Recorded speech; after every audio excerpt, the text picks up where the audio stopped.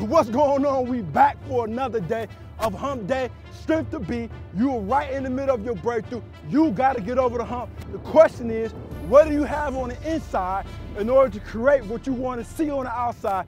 You have it on the inside. We just got to get it out. Let me tell you something right now. When your all is no longer enough, it's no longer your all. I don't care. You say, I'm giving my best, I'm doing my best, I'm going as hard as I can go. When your all is no longer your enough, it's no longer your all. You have to go to the next level. You can't swing to the next level. It is not a linear thing. You have to push up to the next level. You can't swing from one level to the next level. It's not on the same plane. In order to go to the next level in your life, you have to push up to the next level. What am I saying?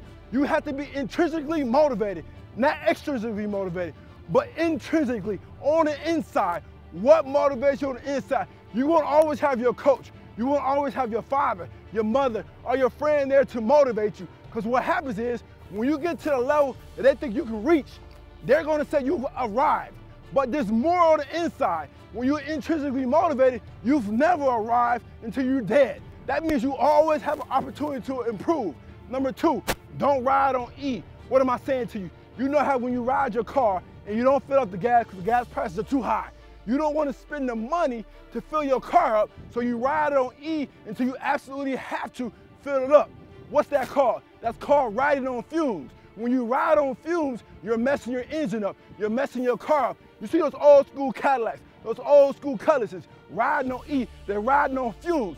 Do not ride on fumes if you're trying to be great, if you're trying to be exceptional. You cannot ride on fumes. If you don't want to be expendable, stop riding on E. You have to decide that when you get close to being empty, to fill back up and go to the next level. Number three, lastly, you have to recommit.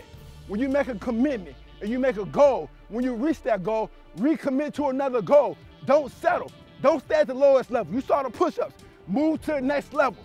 Then move to the next level. You have to continue to recommit every year of your life, every week, every month, sometimes every day. When you reach that goal, don't be satisfied. Recommit to the next level. Push up, get up. Push up, get up. You can't swing from level to level. You gotta push up. You have the strength to be on the inside. Let's get it out.